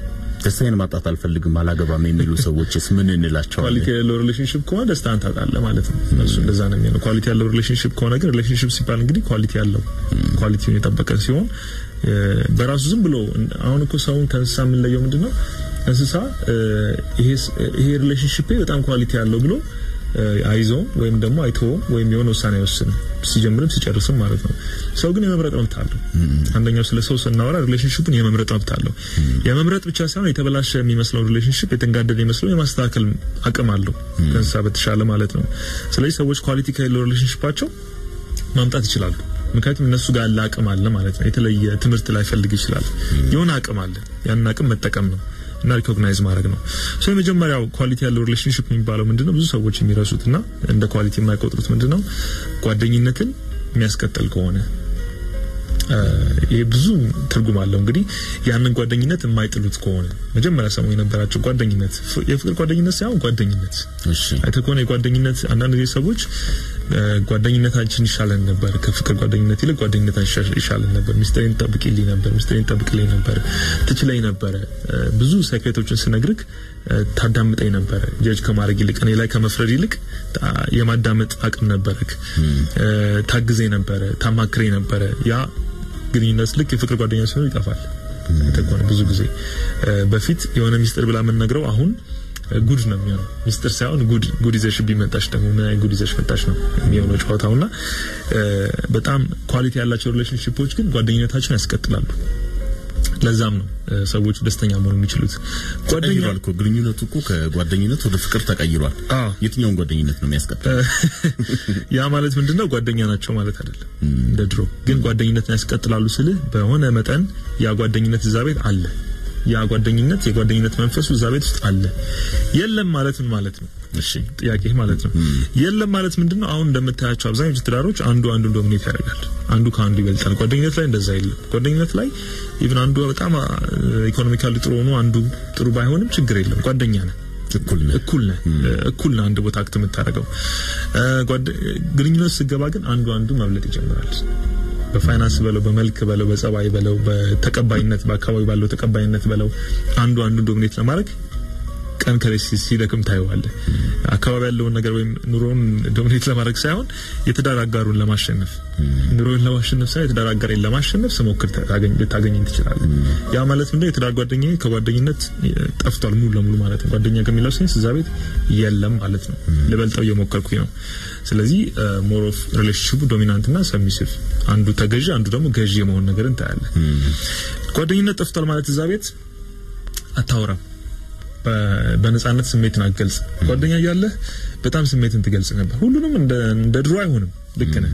እያደገ ነው የሚመጣው ጓደኝነት ወደ ፍቅር፣ ከፍቅር ጓደኝነት ወደ serious ወደ relationship፣ ከዛ ወደ ትዳር፣ ከትዳር ወደ ትልቁ አያት እስከመሆኑ እንደዚህ ትልልቅ level ኦች አሉ። ባለፈው ስናወራቸው ነበር። ጓደኝነት ሙሉ ሙሉ ከዛ ቤት ተሟጦ ከጠፋ ግን አታወራም። እዛ ቤት ነጻነት የለህም። እንደፈለግከው አታወራም። ቲቪ እያየ የሆነ ቀልድ ወይም የሆነ ነገር መናገር ፈልገህ ስለዛ ስለምታየው ነገር ትፈራለህ መናገር እዛ ቤት ውስጥ። ምክንያቱም ጓደኛ አይደለም እዛ ቤት ያለው የሆነ የሚያስፈራ ሰው ነው። የሆነ ጀጅ የሚያደርግ ሰው ነው። ለምን እንደዚህ የምትናገረው የሚል ሰው ነው። እንዴት እንደዚህ ታስባለህ የሚል ሰው ነው። የሚጮህብህ ሰው ነው ያለው። ስለዚህ ጓደኛ አይደለም እዛ ቤት ያለው ሰው ማለት ነው። ጓደኛ ቢሆን ጓደኝነቱ ሙሉ ለሙሉ ሲጠፋ ማለት ነው። ጓደኝነቱ ሲጠፋ ይቅርታ ያደርግልህ። ጓደኛ አይተህ ከሆነ ይቅርታ ትደራረጋለህ። በጣም ብዙ እንደውም አይተህ ከሆነ ብዙ ጊዜ ባለትዳሮች ይቅርታ ለመደራረግ ይከብዳል። ትዳሮች ስትሆን ትናንሽ ጥፋቶች ላይ ራሱ ጓደኝነት ላይ ግን ትልቅ ስህተት ሰርተህ ራሱ ተመልሰህ ይቅርታ ትባባላለህ። ጓደኛ የተባበለ ይቅርታ ተባብለህ ትቀጥላለህ። ስጋት ስለሌለው ይመስለኛል። ፊ ምናልባት ጓደኛ ነገ ልትተው የምትችለው ፒውር ጓደኝነቱን አትውሰደው ትዳር ውስጥ ያን አይደለም የምንወስደው። ያ ስሜት ሙሉ ለሙሉ ሲጠፋ ነው የምልህ። ያ ስሜት ጓደኛ የመሆን ሙሉንም አትወስደው። ሙሉ ከወሰድከው አሁን ያልከው መልስ ነው የሚመጣው። ጓደኝነት ላይ ብዙ ኃላፊነት የለብን። ጓደኝነት ላይ እነዛ ሚስጥሮች ላያስፈሩ ይችላሉ። እዚህ ጋር ያሉት ሚስጥሮች ግን ሊያስፈሩ ይችላሉ። ግንኙነትን ሊያበላሹት ይችላሉ። ግን የምትቀበልበት መንፈስ ነው ጓደኛውን የምትሰማበት ጆሮና እዚህ ጋር ያልሆነ የምትሰማበት ጆሮ የላይና የምድርና የሰማይ ነው ያለው። ትንሽ የጓደኝነት መንፈስ ካለ ግን ከባድም ቢሆን ዜናው ትቀበለዋለህ፣ ቢያንስ ትሰማዋለህ። ደገፍ አድርገህ የምትሰማው ያንተ ሰው ነው እንጂ አንተን ለመጉዳት ብሎ አይደለም ያ ሰው የሚያደርገው። ግን አጥፍቷል፣ በቃ ማንም ሰው እንደሚያጠፋ። ጓደኝነት ጋር ያለው አንዱ quality ግን ምንድነው? ያንን ጥፋትን የመናገር መብት አለህ። ማንም ጀጃ አያደርግህም። ወይም ደግሞ ሰውየው ቢፈርድብህም ፍርዱን እንደዚህ አውጥቶ አይናገርም። የማዳመጥ ብቃቱ አለው። ስለዚህ ከጓደኝነት አንዱ የሚጠፋው ምንድነው? ያለ መፍረድ ጓደኝነት ላይ ብዙ መፍረድ ነገር የለው፣ ማዳመጥ ነው። እንደውም ልስቅበት ትችላለህ በችግሩ። ያው ራሱ purely አይመጣም፣ እዚህ ጋር እንደወረደ አይመጣም። ግን sense ዋ ካለች ትንሽ የጓደኝነት sense ካለች ግን አንዱ ከላይ ሆኖ አይቆጣም። የሆነ ጥፋት ሲናገር ማለት ነው፣ የሆነ ሚስጥርን ስትናገር ማለት ነው። ይቅርታ የማድረግን ብቃት ይኖርሃል ማለት ነው፣ አቅሙ ይኖርሃል። እነዚህ እነዚህ ነገሮች የመደጋገፍ ነገሩ ጓደኝነት ላይ ጓደኝነት ላይ በጣም ትደጋገፋለህ። ግንኙነት ላይ ስትመጣ ግን አንዱ ካጠፋ በኋላ አንዱ አንዱ መደገፍ ያቆማል ሙሉ ለሙሉ በቃ እኔ ይሄ ካልተደረገልኝ እኔም ላንተ አላደርግልም የሚል በጣም አስፈሪ boundary ያመጣል። individual ያምጣ ችግር የለውም ብለን እናስብ። ግን ግንኙነቱ በቃ ቅድም እንዳልኩ የማይናገር የማይደጋገፍ ግንኙነቱ support የማያደርግ ትዳሩ ማለት ነው ትዳሩ በጣም ምሳሌ መሆን የማይችል ይሆናል ማለት ነው። quality ውን ይወርዳል ማለት ነው። ይህን quality ለመጠበቅ የተሻለ ተብሎ የሚታሰበው ምንድን ነው? ትንሽ እንጥፍጣፊ የምትሆን ጓደኝነት መጥፋት የለባትም ከዛ ቤት የጓደኝነት መንፈስ ማለት ነው። የጓደኝነት መንፈስ ምን ያጠፋል? power ን ያጠፋል እዛ ቤት። relationship ውስጥ አንዱ ችግር power ነው፣ የበላይነት ማንጋ ነው ከፍተኛው ኃይል ያለው ማን ነው የሚደቁሰው? ማንን ማንጋ ነው በጣም power ያለው ማን ነው እንደፈለገው መናገር የሚችለው? ማን ነው ውሳኔ መወሰን ብቻውን የሚችለው? ያንን ስሜት ትንሽ ያቀዛቅዘዋል። ያ ማለት ደግሞ ሰዎች ነፃ ይሆናሉ ማለት ነው። ጓደኝነት ላይ ያ ስሜት አለ። so ሰዎች ሙሉ ለሙሉ ጓደኝነታቸውን ትተው ከውጭ ማህበረሰቡ እንደሚሰጣቸው ትልቅ አባትና ትልቅ እናት ይሆናሉ። ልክ ትልቅ አባትና ትልቅ እናት ናቸው። ግን እርስ በርስ ጓደኝነት መንፈሱ still ያስፈልጋቸዋል። ብዙ ትዳሮችም አላቸው የጓደኝነት መንፈስ። ለዛም ነው ይቅርታ የምትባባለው አንድ ዜና ሲነገርህም የምትጠብቀው ብዙ ሳታስደነግጠው የምትሰማው የምታማክረው ጓደኝነት መንፈስ ስላለ ነውና relationship ውስጥ አንዱ የሚመከረው ለ quality የጓደኝነት quality ዎችን ትንሽ ወደዚህ ማምጣት ማለት ነው። ትዳሩ ከዛ ካልጀመረስ ከፍቅር የጀመረ ትዳር እስከሆነ ጓደኝነት ከሌለው እስከዚህ በፊት የትዳር ታሪኩ ጓደኝነትን ያላለፈ እስከሆነ ከየት ያመጣዋል? ጓደኝነት እቺ ጥያቄ እንድትመልስልኝ ፈልጋለሁ። የተወሰኑ መልእክቶችን ሰምተን እንመለስ። ለማንም መንገር የማልፈልገው በልቤ ለረጅም ዘመን አምቄ ያዝኩት ሚስጥር አለኝ። ኑሮዬን እያበላሸብኝ ነው፣ ህይወቴን እየፈተነው ነው። ምን ይሻለኛል ካላችሁ ደግሞ text ብቻ አድርጉልን። እኛ በጣም ሚስጥራዊነቱ በተጠበቀ መልኩ እናስተናግዳችኋለን። ያ ቁጥር ያንን የምናስተናግድበት ቁጥር በጣም የተለየ ነው። 0944 12 1601 ከባድ ሚስጥር አለ በህይወቴ። ልንገራችሁ፣ ላካፍላችሁ፣ እርዱኝ፣ አግዙኝ ካላችሁ በ0944 ላይ 12 16 01 ላይ የጽሁፍ መልእክት ብቻ ነው መደወል አይቻልም። በዚህ ስልክ የጽሁፍ መልእክት ብቻ ብትልኩ እንቀበላችኋለን። እንግዲህ ጠቅለል ያለ ሀሳብ አስተያየት ፕሮግራማችን ላይ ካላችሁ ደግሞ እንደዚሁ ከደወላችሁ ከስቱዲዮ ውጭ የምናስተናግዳችሁ የስልክ መስመር አለ በ0983 45 44 45 ላይ አስተያየቶችን ሀሳቦችን እንቀበላለን። ቦሌ ደንበል ህንጻ አምስተኛ ፎቅ ቢሮ ቁጥር 505 ዘውትር ሰኞ ከ2 ሰዓት እስከ 6 ሰዓት እናንተን ያለ ቀጠሮ ማንኛውንም አይነት ጉዳይ ይዛችሁ ብትመጡ እናንተን ያለ ቀጠሮ እናስተናግዳለን። በቦሌ ደንበል ህንጻ አምስተኛ ፎቅ ቢሮ ቁጥር 505 ሰኞ ከ2 ሰዓት እስከ 6 ሰዓት ተኩል ድረስ ያለ ቀጠሮ የምናስተናግድበት ቀን ነው። በሌሎቹ የስራ ቀናት እንዲሁ በቀጠሮ በነጻ የስነ ልቦና የምክር አገልግሎት ተጠቃሚ መሆን ትችላላችሁ። የመጀመሪያውን እንቋጨውና ከዛ ቀጥሎ ያሉትን እስኪ ስኬታማ ትዳር ወይም የስኬታማ ግንኙነት መመስረት የሚቻልባቸው ጥራቶቹ ላይ በደንብ መስራት የምንችለው ምን ምን ነገሮችን ስናካትት ነው የሚለውን ነገር እሱ ላይ ነው እያወራን የምንገኘው። ግን በትዳር ውስጥ ግንኙነት እንዳይጠፋ ግንኙነት እንዲኖር ይፈለጋል እያልክ ነበር። ጓደኝነት ጓደኝነት እንዲኖር ይፈለጋል። እና የጓደኝነት ስሜት በመጠኑም ቢሆን መጥፋት የለበትም ስትል የሰማሁ መሰለኝና ያ ትዳር ከጓደኝነት ላይ ጀምርስ ማለት በፍቅር የጀመሩ ትዳሮች አሉ። እንዳየዋት ወደድኳት የሚሉ ጓደኝነት ማለት ፒውር የሆነ ጓደኝነትን የፍቅር ጓደኝነት ግን የቀጠለባቸው ወደ ትዳር የገቡ ሰዎች ሊኖሩ ይችላሉና የጓደኝነት ስሜትንና ትዳርን ራሱ ለያይቶ ማየት ትንሽ ከባድ ነው። እኔ እንደተረዳሁት ለያይቶ ማየት ሁሌ ያለ ነው የምትለው ማለት ነው። አዎ አለ ማለት ጓደኝነትና ትዳር ነው። በቃ ትዳር ውስጥ ከገቡ ትዳር ነው። በጓደኝነት ጊዜ ጓደኝነት ነው። ልክ እኮ አሁን ጓደኝነት እኮ ከትዳር ግንኙነት ይለያል። ከፍቅር ግንኙነት በጣም ይለያል። ግን እዛ ውስጥ ያሉ ኳሊቲዎች አሉ። ጓደኝነት ውስጥ ያሉ በጣም ጥሩ ጥሩ የሚባሉ ኳሊቲዎች አሉ። ትዳር የሚፈልጋቸው ለምሳሌ በቅድም በቀላል ቋንቋ ማዳመጥ ይፈልጋል። ሰዎች ሳትፈርድ ወይም ደግሞ ጀጅ ሳታረጋቸው ለምን እንደዚህ ያደረገ ሳትል ማዳመጥ ክህሎትን ይጠይቃል። በአንድ አይመጣም። ግን ከየት ነው የመጣው ብለህ ስታስበው ይሄ ከአስር ዓመት በኋላ ይሄ የምንደርስበት quality ከየት ነው የመጣው ስትል ከአስር ዓመት በፊት የነበረን quality ነው። ወደ ኋላ እንደገና የምንመለሰው ሰውየውን ሳልጮህበት ሳላስደነግጠው መስማት አልፈልግም ኡ ሳል ማዳመጥ ከየት የመጣው በፊት ከነበረው ጓደኝነት ነው። ይሄ ብቃት ይሄ quality ማለት ነው። ይሄን ግን ሰዎች የሚደርሱበት በጣም ቆይተው በጣም ብዙ ሰርተው ራሳቸው ላይ ሰርተው ብዙ ነገር አይተው ነው እዛ የሚደርሱት። ግን ከየት ነው የመጣው ስንል የሌለውን ባህሪ አይደለም ያመጣው ሰው ካለው ከሚችለው ባህሪ ግን ግንኙነቱ ስለተቀየረ ነው እዚህ ጋር ይሄ quality የተቀየረው ከዛው ነው የምታመጣው መልሰ። ስለዚህ በጓደኝነት season የነበረ ጥሩ ጥሩ የሚባሉ quality ዎችን ወደ ትዳር ወደ ግንኙነት ካመጣቸው ይጠቅማሉ፣ በጣም ይጠቅማሉ። በጣም ትዳሩ በ quality እንዲቀጥል ያግዙታል ነው እንትኑ ሀሳቡ ማለት ነው እንጂ ጓደኝነት ሙሉ እዚህ ጋር ካመጣኸው ጓደኝነት በላይ የሆነ responsibility ውስጥ ያለው ትዳር ማለት ከጓደኝነት የበለጠ next level ነው። ሶስተኛ አራተኛ level ነው። ግን ያንን ሙሉ ለሙሉ ጥለው አትምጣ ነው። ሰዎች ጥለው ስለሚመጡ ነው። በቃ ከዚህ በኋላ ጓደኛ አይደለንም፣ ከዚህ በኋላ እያንዳንዱ የምታደርጊው ነገር ያስጠይቅሻል፣ ያስጠይቃል ብለው የሚሰሩ ከሆነ quality የለውም። relationship ነው፣ ትዳር ነው፣ ልክ ነው፣ ልክ ናቸው፣ ግን quality የለውም። quality ው ትልቅ level የደረሰ relationship አይደለም። በጣም quality የወረደ relationship ነው የሚኖሩ ደስተኛ ሆኖ ማለት ነው። ስለዚህ በዛ sense ነው ጓደኝነት እና አንዳንድ ጊዜም እንዳልከው አንተ የሚያስፈራ ነገር አለ። ልክ እንደ ጓደኛ የሚኖሩ አሉ። ምንም ኃላፊነት ሳይሰማቸው እንደ ጓደኛ በቃ ምንም ችግር የለም የፈለግሽውን አድርጌ የፈለግኩትን አደርጋለሁ ባድርም ችግር የለውም ውጭ አንቺን ብታድሪ የፈለ በቃ እንደ ዝም ብለን እንኑር የሚሉ በጓደኝነት የቀጠሉ ሰዎች አሉ። ያ ራሱም አላደገም ማለት ነው። relationship ተብሏል፣ ትዳር ተብሏል፣ ግን ወደሚፈለገው level አላደገም ማለት ነው። ለዛ ነው ይህም quality ው ይወርዳል ማለት ነው። የቀደሙን quality ው ደግሞ ከ quality ውን ለመጨመር ስንል በጣም ወር ላይ እንወስደውና ጣዕሙን ያጣል ማለት ነው። አሁንም ነገሮችን እቃዎችን ስታመርት ወይም የተለያዩ product ን ስታመርት quality ውን ለመጨመር ብለን በጣም ብዙ ነገር ካጨቅንበት quality ውን ጠብቋል፣ ከዛ መጠን አልፏል። አልፎ ስለ TDS ባወራ ብዙ ሰዎች ስለዚህ ነገር ስለሰማሁ ነው። ውሃ ላይ የሚጻፈው TDS የሚባል ነገር አለ፣ ያ nutrient አለ እና ብዙ ሰዎች እሱን ነው የሚያዩት። TDS ስንት ደርሰዋል፣ ውሃው በ TDS ነው የሚለካው የሚባል ነገር አለና TDS ኡ ከሆነ level በላይ ከሆነ ያየሆነ ከሆነ level በላይ ከሆነ አያስፈልግም፣ አይጠቅምም። በቃ quality ው ያ TDS level አለ፣ የሆነ level አለ። I think 200 ቤት ይመስለኛል።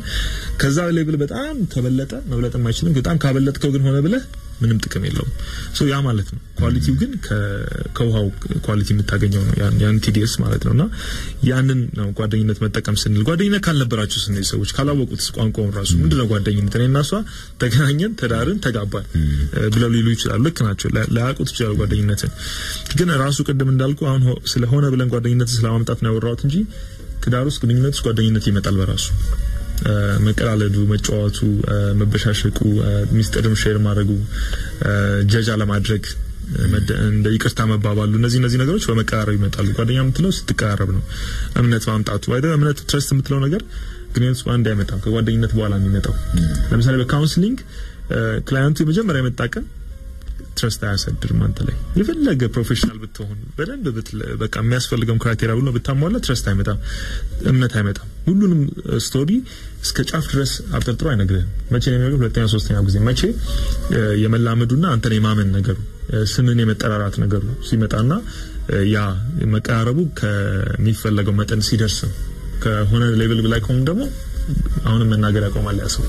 ስለዚህ ያ ጓደኝነት ይመጣል ትዳር ውስጥም ስገባ ሁለት ሶስት ቀን ሶስት አራት ሳምንት አምስት ሳምንት ላይ ያ ጓደኝነት እየመጣ ታየዋለህ። እየተቀራረቡ ታያቸዋል። እነዚህ ሰዎች ጎን ለጎን ሲያወሩ ታያቸዋል እና እዛ ውስጥ እንዲስከቨር ያደርጉታል ማለት ነው። ይህን ጓደኝነት የግድ በፊት ላይ አሁን ይችላል ማለት ነው። መልካም፣ በጣም እንዲገባኝ ነው ያደረገኝ። አመሰግናለሁ። ቀጣይ ነገሮችን ጓደኛ የለህም። ስለዚህ አይገብቶኛል። ቀጣይ ጥራቶቹ ምንድን ናቸው? ከዛ በኋላ እንግዲህ አንዱ አንዱ የመረጥኩት ይሄ ነው። ሁለተኛ የመረጥኩት ደግሞ quality የሚያስብለው አንድ ግንኙነት ሰዎችን ባለ በሌላ አቅማችን ለመቀየር ስንሞክር quality ውን ይቀንሳል ማለት ያ ማለት ምንድን ነው? በባህሪ በሚለብሱት ልብስ፣ በመልካቸው፣ በጸባያቸው፣ በሚያስቡበት መንገድ፣ በእምነታቸው፣ በሚውሉት ቦታ፣ በስራ አይነታቸው በቃ አለ አይደል ያሰው ህይወቱን ሙሉ ለሙሉ ለመቀየር ስንነሳ መቀየር ያለበት መቀየር በቃ ያለበት ሙሉን ለመቀየር ስትነሳ አይ መቀየር ያለበት ቢሆን ሙሉ መቀየር ያለበት ሰው ቢሆን ቀያሪ መቀየር ያለበት ሰው ቢሆን የትዳር ጓደኛ ሙሉ ለሙሉ መቀየር አይችልም።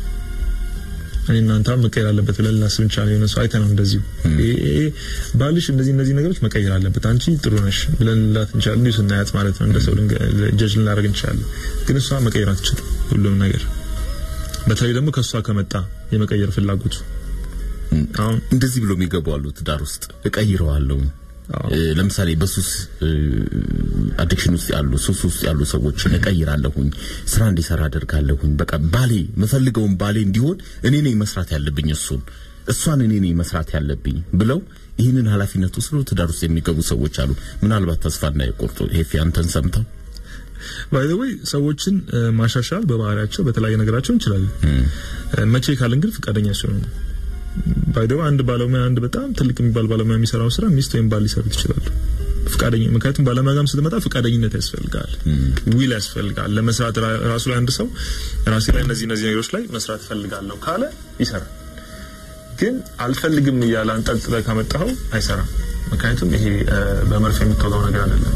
ግን በመርፌ የምትወጋው የሚዋጡ ነገሮችን እኮ ሰዎች ውጠው ምላሳቸው ስንደብቀው መልሰው ይጥሉታል እኮ እስከዛ ድረስ ደርሳል። መቼ አልፈለግከውም በቃ ያንን መድኃኒት አልፈለግከውም። ያን የሚቀይርህን ነገር የሚያሻሽልህን የተሻለ የሚያደርግህን ሰው ጤነኛ የሚያደርግህን object ወይም እቃ or መድኃኒት or anything በለው እሱን መቀበል ካልፈለግ አትቀበለውም ማለት ነው። አስገብተውም ወደ ሰውነት ለውጡን ብዙም አፕሼት አታደርገውም። የመጣውን ለውጥ ብዙም አትቆጥረውም። ስለዚህ ስለማትቆጥረው ብዙም ልዩነት ላይ ያመጣ ይችላል በህይወት ማለት ነው። ስለዚህ መቀየር ከመቀየር እኔ ያው ስለ መቀየር ሳስብ በራሱ መጥፎ አይደለም። ሰውየውን እኮ ማገዝ ነው የፈለገችው አይደል? እሱም ማገዝ ነው የፈለገው እሷ ነው የተሻለ ሰው እንድትሆን ማለት ነው። መጀመሪያ ግን በሚኒንጉ መስማማት አለባቸው፣ በትርጉሙ ማለት ነው። ወደ ምንድን ነው የምቀየረው? ወደ ምንድን ነው የምቀየረው? ካልተስማሙ ወደዛ በጣም ይከብዳል መቀየሩ ማለት ነው። አሁን ወደምትፈልገው ወይንም እሱ ወደሚፈልገው እሱ ይፈልገዋል የሚቀየረው ሰው የሚፈልገው ከሆነ ከትዳር አጋር በላይ በጣም ሰዎችን የሚቀይር ሰው ላይኖር ይችላል። ከቤተሰብ ቀጥሎ ብዙ ጊዜ ካየው ቤተሰብ ነው መጀመሪያ የሚቀይረው coach የሚያደርገው፣ ከዛ ቀጥሎ የትዳር አጋር ነው ያንን ሰው shape ማድረግ የሚችለው። ምክንያቱም በየቀኑ በተለያዩ ውሳኔዎች ሰው ጋር ስለምትገናኝ ማለት ነው። ስለዚህ በትርጉሙ ከተስማሙ መጀመሪያ ለምሳሌ አንድ ሰው addiction አለ ሱስ አለብኝ ሱስ። ሱሱን መቀየር ትፈልጋለህ ወይስ ያለውበት ሱስ ልክ አይደለም? የድሮ ይሻለኛል የበፊቱ የበፊቱ እንትን ሁኔታ ይሻለኛል ብሎ ከተነሳ ሚስቱ ልታግዘው ልቀይረው ትችላለች ልታግዘው ትችላለች። በዛ መቀየር ሂደት ውስጥ ልታግዘው ትችላለች። ያንን ባህሪ የሚቀይረው ግን ብዙ ነገር የሚቀይረው ራሱ ስለዚህ ከዛ አንጻር ነው የምናየው በትርጉም በትርጉም ደረጃ። ከትርጉም በኋላ ምንድነው? ራሱ መፈለግ አለበት። ትርጉሙን ከተስማሙ በኋላ አሁን ያለውበት ህይወት ልክ አይደለም። መቀየር አለብኝ። ከዛ ማን ነው የሚቀይርህ? እሷ አይደለች የምትቀይረው እሱ ራሱ ነው የሚቀይረው። ግን እሷ በጣም ታግዘዋለች። ልትቀጣው ትችላለች ልትሸልመው ትችላለች ጥሩ ነገር ባረገ ቁጥር። ታስታውሰው ትችላለች። ለምሳሌ በመቀየር ሂደት ውስጥ በመቀየር ትልቁ ነገር መርሳት ነው ያንን ባህሪን ተመልሶ ለምሳሌ ሲጋራ ማቆም የፈለገ ሰው ሲጋራውን እያቆመ እያልፈለገው ግን ድንገት ሲጋራውን ገዝቶ እጁ ላይ ሊያገኘው ይችላል። ድንገት ሊያጭስ ታገኘዋለና ያንን ማን ያስታውሰው? እናቱም አታገኘውም አባቱም አያገኘውም የስራ ባልደረቦቹም አያገኙትም። ሚስቱ ግን ልታገኘው ትችላለች በብዛት ማለት ስለዚህ ልታስታውሰው ትችላለች ልታግዘው ትችላለች እና በመቀየር ትርጉሙና የመቀየር ፍላጎት ካለው ያ ሰው ብዙ የተቀየሩ ሰዎች አይቻለን የመቀየር ፍላጎትና ትርጉሙ ግን የመጣው ከቀያሪ ከሆነ ዶክተር fix የምንለው ማለት ነው ከ fixer ኡ fix ከሚያደርገው ሰው ከመጣ ግን በጣም ከባድ ነው የሚሆነው በጣም እሱን ነው አሁንም ወደ መቆጣጠር ይሄዳል ማለት ነው። ያንን ሰው ወደ መቆጣጠር በቃ አንድን ሰው ብቻ ይሄ ሁለት ሰዎች በነገራችን ላይ አንድ አይነት ሀሳብ ካሰቡ ይሄ ባልና ሚስት ከአንድ ወንዝ ይቀዳሉ የሚለው ራሱ አከራካሪ ነው። ሁለት ሰዎች አንድ አይነት አስተሳሰብ አንድ አይነት አመለካከት ካላቸው አንደኛው ማሰቡን አቁሟል። ወደዚህ አይነት ትርጉምም ሊሄድ ይችላልና አንደኛው ሰው ያንን ሰው የመቆጣጠር ነገር እንዲሁን ከቤት አትውጣ እንደዚህ አድርግ የሚል አይነት ጫና ካሳደረበት ነው አሁን ያልከው ዶክተር ማነስ የሚሆነው በትዳር ውስጥ። ልክ ከአንዱ ሰው ከመጣና በጣም የሚጫነው ከሆነ እና እንደውም ቅጣቶቹ በቃ serious ከሆኑ ማለት እንደዚህ አታርግ እንደዚህ አታርግ እንደዚህ ነው መሆን ያለብህ ብሎ እስካለመስማማት በትርጉሙ እስካለመስማማት ድረስ ከመጡ መቀየር በጣም ይከብዳል። ያ by the way መቀየሩ አይደለም የሚያሳስበኝ። ሰውየው በተለያየ መንገድ ሊቀየር ይችላል። counselor ጋር ሄዶ ወስኖ ራሱ ድንገት ጠዋት ተነስቶ ከዛሬ ጀምሮ እንደዚህ ነው የማደርገው ብሎ ራሱ ላይ ሊሰራ ይችላል። ቤተ እምነት ሄዶ ብዙ ነገር ለመቀየር በጣም ብዙ አጋጣሚዎች አሉ። ግን ለመቀየር በምታደርገው ጥረት ያለሱ ፍቃድ ለመቀየር ያን ሰው ለማሻሻል በምታደርገው ጥረት የ relationship quality ይወርዳል። አሁን እሱን ነው የምናወራው። ሰውየውን እየቀየርከው ነው ግን ፍቃደኛ አይደለም። እየጣርክ ነው፣ እየከለከለች ነው፣ እየደበቀችበት ነው የሚያደርገው ነገር። እሱም እንደዛ እያደረገ ነው እሷ ላይ። ግን quality ያቸው የ relationship quality እየቀነሰ ታየዋለህ። በቃ ከ relationship ይልቅ አሁን ወደ relationship ኡ ከትዳር ይልቅ ወደ ሌላ አይነት ነገር ይመጣል። more የአባትና የልጅ አይነት ይሆናል። ወይም የወላጅ እና የልጅ የወላጅና የልጅ relationship ውስጥ ይገባሉ። ቅድም ያልከው ማለት ነው።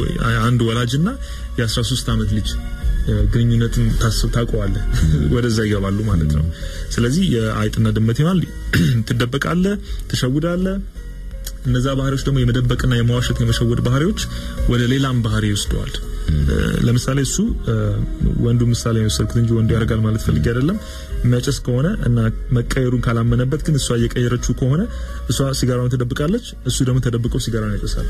እሷ ትደብቃለች፣ ተደብቆ ያጨሳል። ከዛ በኋላ የመደበቅ የመደበቅ የመዋሸት ባህሪው ይለምደዋል።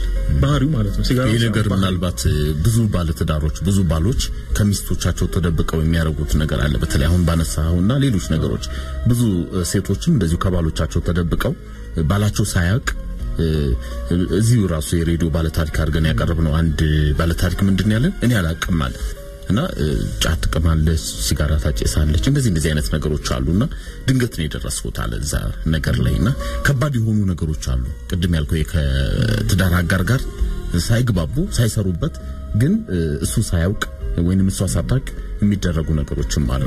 ትንሽ ከባድ ያደርገዋል ይሄ እያደገ ሲመጣ። እነዛ ባህሪዎች አሁን ወደ ሌላ ነገር ያድጋሉ። ባህሪውን ይዘት ሄድና የመዋሸትና የመደበቅ ብቃት አገኘ ሰው ሚስቱን እንደሚደብቃት፣ እንደሚሸውዳት፣ እንደሚዋሻትና እንደሚያሳምናት ማሰብ ጀመረ። ያንን skill ኡን ሌላ ቦታ ላይ ይጠቀምበታል። እዛ ግንኙነት ውስጥ ማለት ነው። ምናልባት adult cheat ማድረግ ሊሆን ይችላል። ምናልባት ገንዘቦችን መደበቅ ሊሆን ይችላል። ምናልባት ሌላ ቤተሰብ መመስረት ሊሆን ይችላል። ይህን ብቃቱን ይህን skill ኡን እዛ ጋ የተጠቀመውን skill ባህሪውን ሌላ ቦታ ላይ መጠቀም ይጀምራል ማለት ነው። ያ በጣም አደገኛ ነው። ስለዚህ quality ው አሁንም በጣም ሲወርድ ታየዋለህ። ቅድም አንተ እንዳልከውም ብዙ የተደበቁ ባህሪዎችና ሁኔታዎች አብረው ይመጣሉ ማለት ነው። ጥሩ ትንሽ ነጥቦች አሉ። አዎ አስቆምኩ። የተወሰኑ ነጥቦች አሉ። ያው ፕሮግራም መሪ መሆኔም ጥቅሙ እዚህ ጋር ነው። አንተን ለማስቆም እዚህ የተቀመጥኩት። የተወሰኑ መልእክቶችን ሰምተን እንመለስ። የተወሰኑ ጥራት ያለው ግንኙነት ወይንም ትዳር እንዲኖረን መሰረታዊ ናቸው ተብለው ሊጠቀሱ ከሚችሉ ነገሮች መካከል የተወሰኑትን አንስተናል። አንድ ሀሳብ የሚቀረን ይመስለኛል። መጨረሻ እንግዲህ time ስለሄደ ከራሱ ጋር ያለው relationship ሰው ሙሉ ለሙሉ ከጠፋ አሁንም ጥራቱ ይወርዳል፣ የግንኙነቱ ማለት ነው። ባል ከራሱ ጋር ያለው relationship ሙሉ ለሙሉ መጥፋት የለበትም። ማለት ግንኙነቱ ስገባ ባዶ አይደለም የምትሆነው፣ ወይም ደግሞ ሙሉ መቶ percent ሰውየው ራሱን አይሰጥም። የሆነች የምትቀር ነገር አለች። ለራሱ የሚያስቀምጣት ከራሱ ጋር የሚያወራባት ጊዜ ልትሆን ትችላለች። የምትቀር ፍላጎት ልትሆን ትችላለች። ሚስቱ በተአምር ሊገባት የማይችል እሱ ግን የሚገባው ፍላጎት አለ፣ የሆነ የሚያስደስተው ነገር አለ። እሱን ሙሉ ለሙሉ ዜሮ የምናደርገው ከሆነ ሰውየው ሊጠፋ ከራሱ ጋር ያለው relationship zero ሊሆን ማለት ነው። እሺ እንዴት ነህ ኤፍሬም፣ እንዴት ነህ ምናምን ከራሴ ጋር ሳወራ ኤፍሬም ምንም ነገር የለውም እዛ relationship ላይ ምንም የሚታይ ነገር የለውም። ጠፍቷል፣ በቃ እዛ ቤት ውስጥ ተደባልቋል ማለት ነው። መዋጥ አንዳንድ ጊዜ መዋጥ ነገር አለ። ስለዚህ ያም quality ውን ይቀንሰዋል። ለምንድን ነው ካልን የተዋጠ ፍላጎቶች፣ የተዋጡ ስሜቶች፣ የተዋጡ ጉዳዮች የሆነ ጊዜ ላይ ነጻነት ይፈልጋሉ። እንደውም እኮ እኔ ራሴን ጥዬ ሰምተናል ብዙ ጊዜ እንደውም እናቶች እንደዛ አይነት ነገር ያጋጥማቸዋል እና by the way ፍቅር መስጠትም ከሆነ ጊዜ በኋላ ያቅታል። የለህም አንተ አንተ ስትኖር ነው ፍቅር የምትሰጠው አንተ ነው ሰዎችን ማዳን የምትችለው መምከር የምትችለው coach ማድረግ የምትችለው እና ያ ሰው ማንነቱ ሙሉ ለሙሉ ከጠፋ ምንም ወደ ልጆቹ የሚያወርሰው ምንም ማንነት የለውም። ምንም ስብዕና የለውም። ስብዕና እስከመለወጥ ድረስ ማለት ነውና ስብዕና ከራስ ጋር ያለ ነገር ነው። ስብዕናን ለመለወጥም መሞከር የለብንም። የሚሻሻሉ ባህሪዎች ይኖራሉ፣ የሚሻሻሉ ልምዶች ይኖራሉ፣ የተለያዩ ነገሮች ይኖራሉና ያ ሰው ከራሱ ጋር ያለው ግንኙነት ከጠፋ የ relationship ን quality እንደዛው በጣም ይቀንሳል፣ ጥራቱ ይቀንሳልና ደስታና ቀደም ያልኩ ነገር ደስታና ሰላሞችም ከዛ ቤት ይጠፋሉ ማለት ነው። መስጠትም ያቅተዋል። ለመቀበልም አንተ እኮ ታስፈልጋለህ። ፍቅር ለመቀበል የተለያዩ ነገሮች ለመቀበልም ያ ሰው መኖር አለበት እዛ ቤት። ግን በአካል አለ በፋይናንስ አለ፣ በብዙ ነገር አለ። ግን ማን ነው እስኪ የተለየ ባህሪ ምንድን ነው ከዚህ ቤት ልዩ የሚያደርግ ቢባል አባት ወይም እናት ላይናገሩ ይችላል። በቃ ቤተሰብ ነን ይለዋል። እና ቤተሰቡ ደግሞ የሆነ ሰዓት ላይ የሆነ ችግር ቢያጋጥመው ያ ሰው ስለሌለ ማንነት ስለሌለው ማዳን አይችልም፣ ያንን ቤት ማስቀጠልም አይችልም ማለት ነው እና ይሄም ጥራቱን በጣም ይቀንሰዋል አሁን ያወራናቸው በጠቅላላ ጥራትን ይቀንሳሉ፣ ግንኙነትን አደጋ ውስጥ ይከታሉ የምንላቸው ነገሮች በሙሉ በአንዱ ባለትዳር ቤት ውስጥ እየሆኑ ነው ብለን እናስብ። እሷ ጋር ወይም እሱ ጋር ምን ያድርጉ? መጀመሪያ ለእነሱ ጥራት ምንድን ነው የሚለውን ነገር define አድርጎ meaning ኡ ለእኔ quality ያለ quality ምንድን ነው ለእኔ relationship quality ምንድን ነው ብለው ይወቁት የራሳቸው በግላቸው ማለት ነው። ካወቁት በኋላ ያንን ደግሞ ማሳወቅ እኔ እናንተ ደስተኛ ነን በግል በግል ስንታይም ጥሩ ነን፣ ጥሩ ነው ባልና ሚስት ነን። ግን relationship ኣችን quality የለውም። ሰዎች በግል ያደንቁናል፣ በግል famous ነን፣ በጣም እንወደዳለን። ግን በ relationship ደረጃ ግን quality ው በጣም የወረደ ነው። ስለዚህ quality ውን ለማወቅ ምንድን ነው አንተ quality የምትላቸው ሶስት ነገሮች ዛሬ የጠቀስናቸው ሶስት ነገር ሊጠቅሱ ይችላሉ። ሚስትም እንደዛው quality የምትይው relationship ምንድን ነው? ዓለምን መጎብኘት ከሆነ በቃ ነው በቃ ለእሷ quality ማለት ነው። እሱም ደግሞ በቃ መደሰት ከሆነ quality ለእሱ quality ሊሆን ይችላል ይሄ ነገር list ካደረጉ በኋላ ከዛ በኋላ ስድስቱን ያመጡና እ፣ ወይ እኛ ቢሮ ይመጣሉ ወይ ደግሞ ራሳቸው ራሳቸው ይሰራሉ ማለት ነው። quality define ያደርጋሉ ማለት ነው።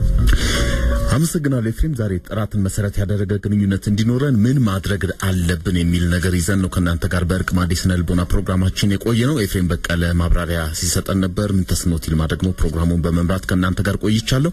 ሐሙስ ልክ ዘጠኝ ሰዓት ላይ በልዩ የእርቅ ማዕድ በተመረጠው የእርቅ ማዕድ የባለታሪክ ፕሮግራማችን እንጠብቃችኋለን። መልካም ጊዜ ይሁንላችሁ። አስተያየት፣ ሀሳብ ቢኖራችሁ በስልክ በሞባይል የስልክ መስመሮቻችን እንደዚሁ ሀሳባችሁን እንቀበላለን በ0983 45 44 45 ላይ በየትኛውም ሰዓት መደወል ሀሳባችሁን መስጠት ትችላላችሁ። መጪው ትውልድ የተሻለ ነገር ይገባዋል። ኢትዮጵያ ለዘላለም ትኖር። ኢትዮጵያ ለዘላለም ትኖር። ኢትዮጵያ ለዘላለም ትኑር።